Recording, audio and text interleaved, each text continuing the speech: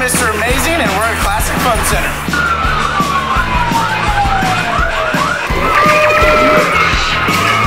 Shooting aliens and spaceships? Now that's amazing. Classic Fun Center. Come in today.